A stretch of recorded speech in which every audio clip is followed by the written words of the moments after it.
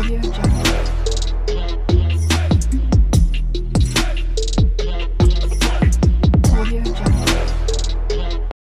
Hello friends welcome back to our channel.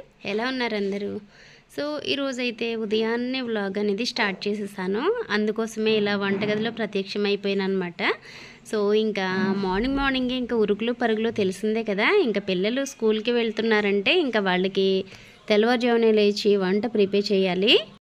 ఇంక ఇక్కడైతే first అయితే నేను పిల్లలకి హడావుడిగా ప్రిపేర్ చేసేస్తున్నాను. ఎగ్ ఫ్రైడ్ రైస్ అనమాట ఎగ్ ఫ్రైడ్ రైస్ చాలా సింపుల్గా చేశాను. నేను స్టార్టింగ్లో అయితే వీడియో అనుకోలేదు అసలు. అందుకోసమే నేను ఇక్కడ స్టార్టింగ్లో వీడియో అనేది తీయలేకపోయాను. ఈసారి ఎప్పుడైనా మళ్ళీ ఫుల్గా వీడియో అనేది ఇది చూపిస్తాను. అంటే ఎగ్ ఫ్రైడ్ రైస్ సింపుల్గా చాలా అంటే చాలా టేస్టీగా ఎలా చేసుకోవాలో చూపిస్తాను. ప్రస్తుతానికైతే ఫస్ట్ అయితే నేను ఇలా ప్యాన్లో ఆయిల్ వేసేసుకుని ఆయిల్ హీట్ అయిన తర్వాత పచ్చిమిర్చి ఉల్లిపాయ ముక్కలు రెండు వేయించుకున్నాను. ముందైతే పచ్చిమిర్చి బాగా వేయించేసుకున్నాను. కారం అనేది లేకుండా అవి బాగా వేగిన తర్వాత చిన్న ఒక మీడియం సైజు ఉల్లిపాయ తీసుకుని చిన్న చిన్న ముక్కలుగా కట్ చేసేసుకుని దాన్ని కూడా వేయించేసుకుని ఒక ఎగ్ని బ్రేక్ చేసుకుని వేయించుకున్నాను. తర్వాత ఇందులోకి చల్లారిన రైస్ని వేసుకోవాలి. మనం వేడివేడిగా ఉన్న రైస్ని వేసుకున్నామంటే అది మొత్తం ముద్దలాగా అయిపోతుందన్నమాట. ఒక ప్లేట్లోకి రైస్ని తీసేసుకుంటే ఈ ప్రాసెస్ అంతా చేసుకునేసరికి హీట్ అనేది పోతుంది. లైట్గా వెచ్చగా ఉన్నా పర్వాలేదు కానీ ఎక్కువ వేడి అనేది ఉండకూడదు.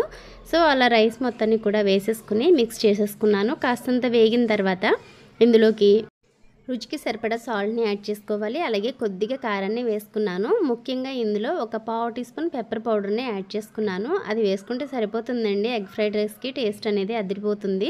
ఇంకా కావాలంటే వెజిటేబుల్స్ కానీ చాలా యాడ్ చేసుకోవచ్చు. కానీ అన్ని రకాలు లేనప్పుడు మనం సింపుల్గా చాలా టేస్టీగా పిల్లలు చాలా ఇష్టంగా తినే విధంగా చేయాలంటే ఈ ప్రాసెస్లో చేసుకోవచ్చు.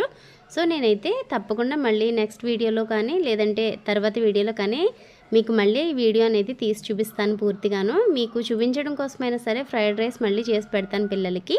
ఇంకా ఫ్రైడ్ రైస్ అయితే అయిపోయింది. అంటే కారం అన్నీ వేసేసుకున్న తర్వాత స్టవ్ని హై ఫ్లేమ్లో పెట్టి వేయించేసుకోవాలి. హై ఫ్లేమ్లో పెట్టి వేయించుకుంటే మంచి స్మోకీ ఫ్లేవర్తో ఫ్రైడ్ రైస్ అనేది చాలా బాగుంటుంది. సో మనం ఎగ్ ఫ్రైడ్ రైస్ కానీ వెజ్ ఫ్రైడ్ రైస్ కానీ ఏం చేసుకున్నా అలాగే చేసుకోవచ్చు. ఇంకా ఫైనల్గా వచ్చి ఇక్కడ పాలు అయితే కలిపేస్తున్నాను. పిల్లలకి అప్పటికి పాలు కాచేస్తాను. పాలు మామూలుగా రైస్ ఒక చోట పాలు ఒక చోట పెట్టేసుకుంటాను అనమాట మార్నింగ్ ఫస్ట్ అయితే పాలు పెట్టేసుకుంటాను. తర్వాత రైస్ రెడీ చేసేసుకుని రైస్కి రైస్ కూడా పెట్టేసుకుంటాను. ఇంకా తర్వాత వచ్చి పిల్లలకైతే పాలు కలిపేస్తున్నాను. పంచదార కొద్దిగా హార్లిక్స్ వేసేసాను అసలు హార్లిక్స్ లేకపోతే కొంచెం ఒక్క పాల చొక్కైనా తాగరనమాట హార్లిక్స్ వేసుకుని మాత్రమే తాగుతారు. తాగడమైనా మానేస్తారు కానీ హార్లిక్స్ లేకపోతే మాత్రం అసలు పాలు అనేది తాగరు పిల్లలు. అది కూడా కొంచెం క్వాంటిటీ అనేది ఎక్కువగానే వేయాలి. కలర్ అనేది కొంచెం హార్లిక్స్ కలర్లో పాలు కూడా కనిపించాలన్నమాట. ఏంటో తెలియదు ఇంకా అలవా అలా అలవాటు అయిపోయింది తాగిన టైంలో అసలు పాలే తాగలేదు వాళ్ళు. సో పాలు తాగేటప్పుడు రోజులో ఒక్కసారి తాగినా సరే ఇలాగా ఎన్ని రూల్స్ పెడతారు పాలు తాగడానికి.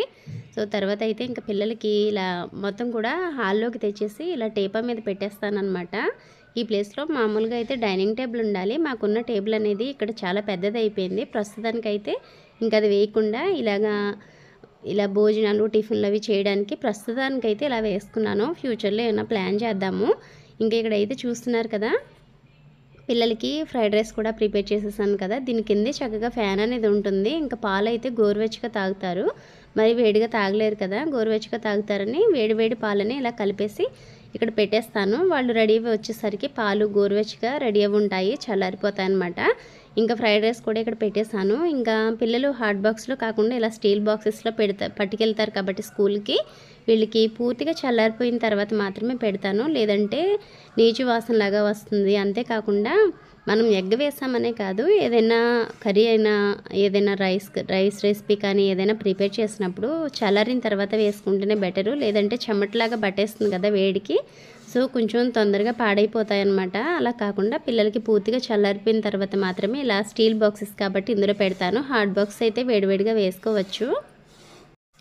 తర్వాత వచ్చి ఇంకా వాటర్ బాటిల్ కూడా రెడీ చేసేస్తున్నాను. ఒక దాంట్లో అయితే నిత్య కోసం పెరుగన్నం పెట్టడం కోసం ఇలా కొద్దిగా రైస్ అనేది వేస్తాను. చాలా అంటే చాలా తక్కువ తింటుంది పెరుగన్నం.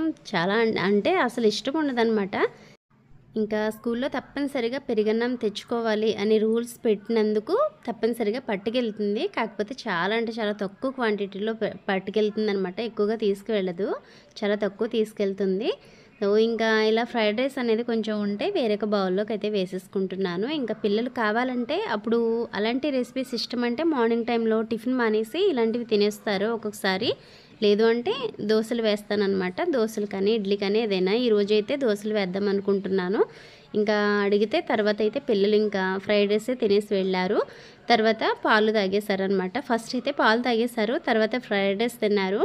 ఇంకా కాసంత వాళ్ళకి టేస్ట్ అనేది పోకూడదనమాట పాలంటే పెద్ద ఇష్టంగా తినరు కదా అందుకని టేస్ట్ పోకూడదని ముందైతే పాలు తాగేశారు. తర్వాత కాసేపటికి ఒక ఫిఫ్టీన్ టు టెన్ మినిట్స్ ఆగిన తర్వాత అప్పుడు ఫ్రైడ్ రైస్ అనేది తినేశారు. ఇంకా వాటర్ బాటిల్స్ కూడా రెడీ చేసేసాను.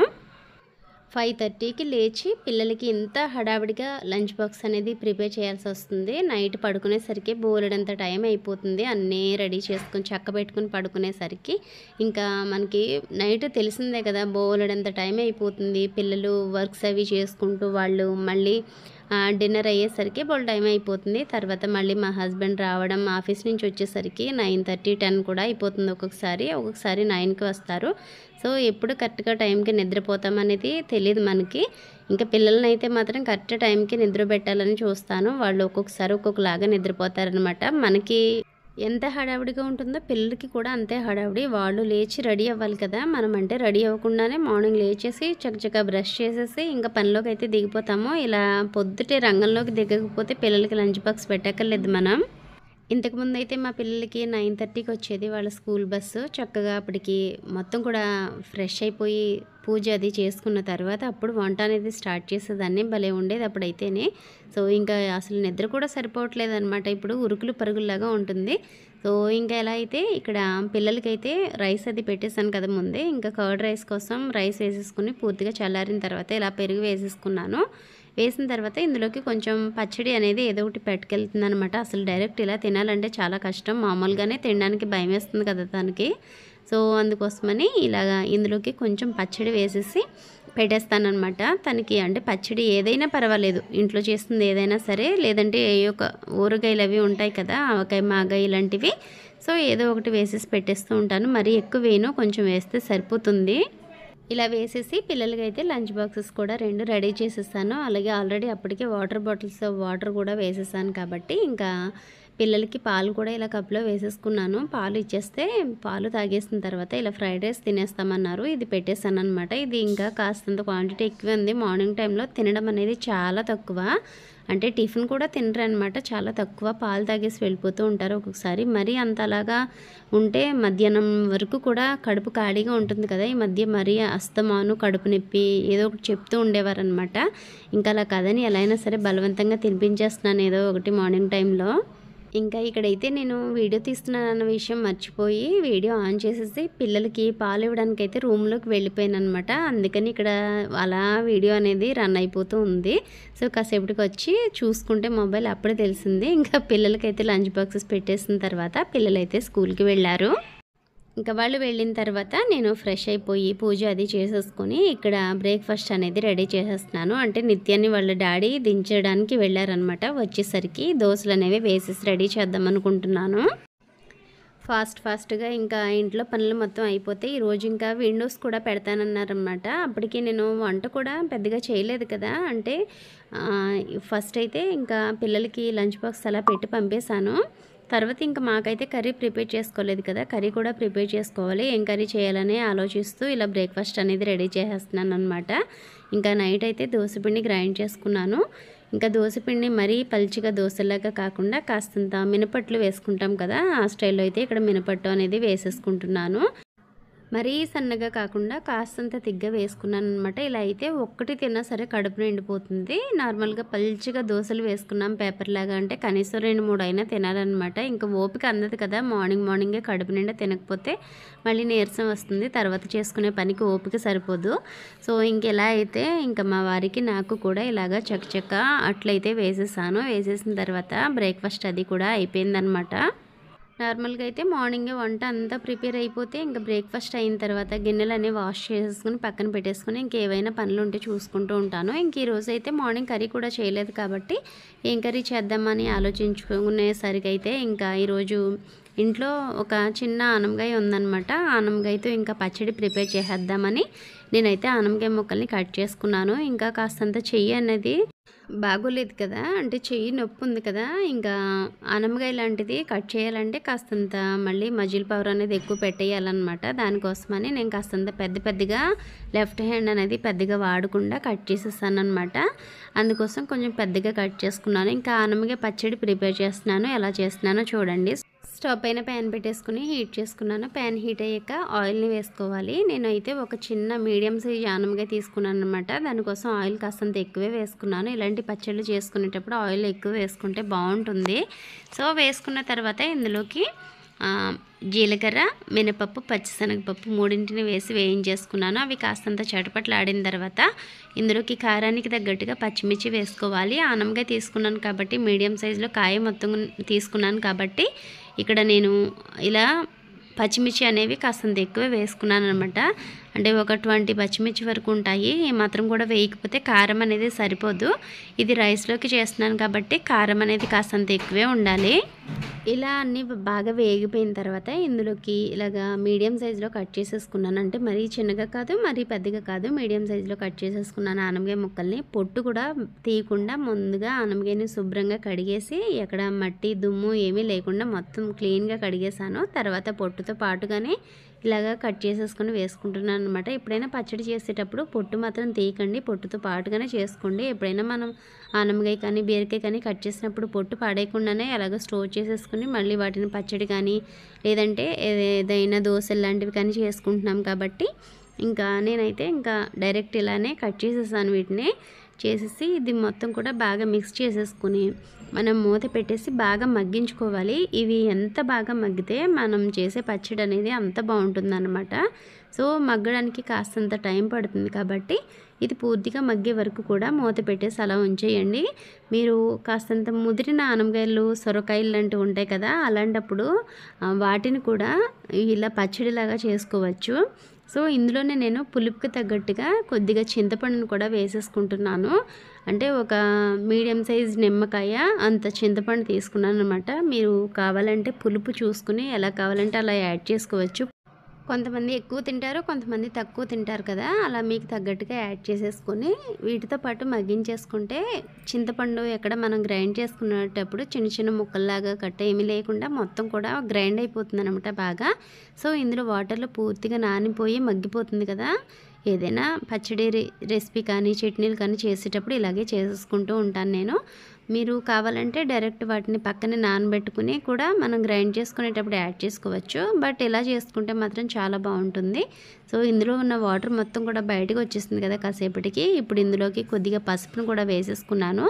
పచ్చడి మంచి కలర్ రావడం కోసం అలాగే హెల్త్కి కూడా పసుపు అనేది చాలా మంచిది కాబట్టి ఇలాంటి పచ్చడి రెసిపీస్లో తప్పనిసరిగా పసుపు వేసుకోవాలి.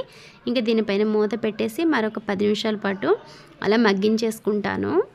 ఇంకా పది పన్నెండు నిమిషాల తర్వాత మూత తీసుకునేసరికి ఇంకా మరి కాస్త వాటర్ అనేది ఇందులోంచి బయటకు వచ్చేసింది. అలాగే ఈ అనమకాయ ముక్కలన్నీ కూడా సాఫ్ట్గా మగ్గిపోయాయి అనమాట సో ఇలా వాటర్ ఉన్నా సరే పర్వాలేదు. మనం ఎలాగో ఈ పచ్చడిని గట్టిగానే గ్రైండ్ చేసుకుంటాము. కొంచెం కాస్త ఎక్కువైనా తక్కువైనా వాటరు మనకి పల్చగా అయిపోతుంది కాబట్టి ఇందులోనూ ఆయిల్ కూడా ఎక్కువ వేసుకున్నాం కాబట్టి ఆ మాత్రం కన్సిస్టెన్సీ ఉన్నప్పుడే తీసేసుకుంటే స్టవ్ ఆఫ్ చేసేసుకుంటే సరిపోతుంది. సో పూర్తిగా చల్లారిన తర్వాత ఇందులోకి రుచికి సరిపడా ఉప్పు ఒక నాలుగైదు వెల్లుల్లి రేకులు కూడా వేసేసుకుని బాగా మిక్స్ చేసుకోవాలి. మిక్స్ చేసేసుకుని దీన్ని మిక్సీ జార్లోకి తీసుకుని గ్రైండ్ చేసేసుకోవడమే. ఇంక ఇందులో ఎలాంటి ఇంగ్రీడియంట్స్ కూడా యాడ్ చేయాల్సిన అవసరం లేదు. సో క్వాంటిటీ అనేది ఎక్కువగా ఉంది కాబట్టి నేను మిక్సీ జార్లో వేసుకుని రెండు సార్లు గ్రైండ్ చేసుకుంటున్నాను అనమాట సగం సగం వేసుకుంటున్నాను.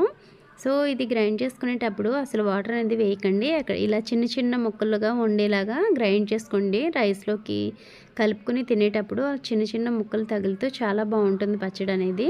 సో మీ దగ్గర ఉంటే రోట్లో దంచుకోండి. ఇంకా అంతకంటే మంచి రుచి ఎక్కడ దొరకదనమాట గ్రైండర్లో వేసుకునేదానికంటే రోట్లో వేసుకుంటే మరింత రుచి ఉంటుంది. సో ఇంకా నేను రోట్లో వేసి దంచేంత టైం లేదు కాబట్టి ఇలా మిక్సీలో వేసేసుకుని గ్రైండ్ చేసేసుకుంటున్నాను. సో పచ్చడి అయితే రెడీ అయిపోయింది కదా ఇప్పుడు దీని అంతటిని ఒకసారి బాగా మిక్స్ చేసేసుకుని పోపు దినుసులు యాడ్ చేసేసుకుందాము. ఇలా స్టవ్ పైన ఒక చిన్న ప్యాన్ పెట్టేసుకుని ఆయిల్ వేసుకోవాలి. ఆయిల్ మరీ ఎక్కువ అవసరం లేదు. ఫస్ట్ స్టార్టింగ్లో వేయించుకునేటప్పుడు ఎక్కువ వేసుకున్నాం కాబట్టి ఇప్పుడు కొద్దిగా ఆయిల్ని వేసేసుకుని ఇందులోకి జీలకర్ర ఆవాలు కొద్దిగా మినపప్పు వేసుకుని వేయించుకోవాలి. అవి కాస్తంత చెటపట్లాడిన తర్వాత ఒక రెండు ఎండుమిర్చిని కూడా వేసేసుకుని అవి కూడా కాస్తంత వేగాక ఫైనల్గా ఇలా కొద్దిగా కరివేపాకు వేసుకుని అటు ఇటు కలిపి స్టవ్ ఆఫ్ చేసేసుకుని ఈ వేడి వేడి పోపు దినుసులను తీసుకువెళ్ళి ఇందులోకి వేసేసుకుని బాగా మిక్స్ చేసేసుకుంటే సరిపోతుంది. ఎంతో టేస్టీగా ఉండే ఆనమగాయ పచ్చడి అయితే రెడీ అయిపోతుంది. ఇంకా రైస్లోకి కానీ ఎలాంటి బ్రేక్ఫాస్ట్లోకైనా సరే చాలా బాగుంటుంది. ఒకసారి తప్పకుండా మీరు కూడా ఈ పచ్చడిని ట్రై చేసి చూడండి. ఒంటికి కూడా బాగా చలవ చేస్తుంది. చాలా మంచిది కూడా. ఆనమగాయ అంటే ఇష్టపడిన వాళ్ళు కూడా ఈ పచ్చడిని తప్పకుండా లైక్ చేస్తారు.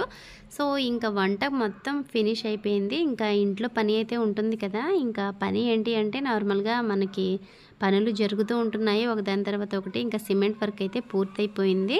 సో అది చాలా పెద్ద విషయం అనమాట నిజంగా సో అదైతే పూర్తయిపోయింది. తర్వాత వచ్చి ఈరోజు ఇంకా విండోస్ అనేవి పెడుతున్నారనమాట యూపీవీసీ విండోస్ అనేవి పెడుతున్నారు. అవి పెట్టడం కోసం అయితే నిన్ననే వచ్చి వర్క్ అనేది స్టార్ట్ చేశారనమాట ఇంకా మళ్ళీ తొందరగా వెళ్ళిపోయారు. లేట్గా వచ్చారనమాట ఇంకా కొంచెం వర్క్ అనేది చేసేసి వెళ్ళిపోయారు. స్టార్ట్ చేశారనమాట నిన్న.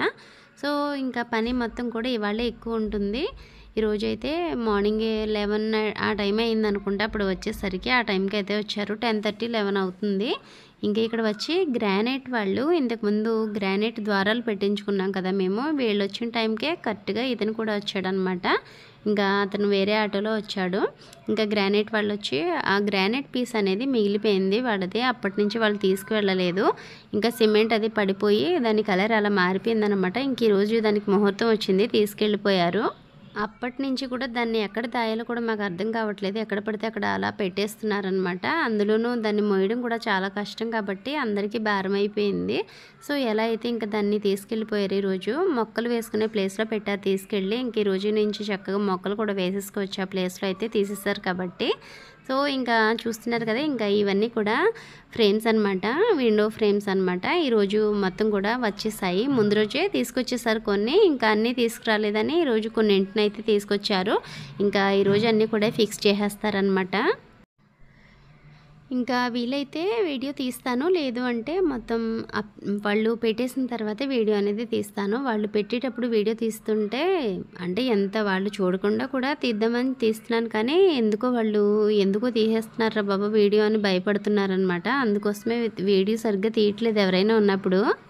ఇంకా వర్క్ చేసేసి వాళ్ళు వెళ్ళిపోయిన తర్వాత అయితే తీస్తున్నాను కొంతమందికి ఛానల్ గురించి తెలిసిన వాళ్ళకైతే పర్వాలేదు కానీ తెలియని వాళ్ళైతే మాత్రం ఎందుకు వీడియో తీస్తున్నాం ఏదైనా గొడవ పెట్టేస్తారేమని భయపడుతున్నారనమాట అందుకని నేను కూడా భయపడి తీయట్లేదు. ఎందుకు వచ్చిందిలే గొడవ అని. ఓకే ఫ్రెండ్స్ చూసారు కదా ఇవాళ వీడియో అయితే ఇలా జరిగింది. సో ఈరోజు వ్లాగ్ నచ్చితే తప్పకుండా లైక్ చేసి మా ఛానల్ని సబ్స్క్రైబ్ చేసుకుని వ్లాగ్ ఎలా ఉందో కామెంట్ సెక్షన్లో కామెంట్ చేయండి. బయట అయితే ఆల్రెడీ వర్క్ జరుగుతుంది. కాసేపు వర్క్ అయితే ఆపారనమాట ఇంకా ఆ టైంలో నేను చకచక వాయిస్ అనేది చెప్పేసుకున్నాను. ఎక్కడైనా మిస్టేక్స్ చెప్తే మాత్రం ఏమీ అనుకోకండి. రేపటి వీడియోలో మళ్ళీ కలుసుకుందాము. అంతవరకు థ్యాంక్స్ ఫర్ వాచింగ్.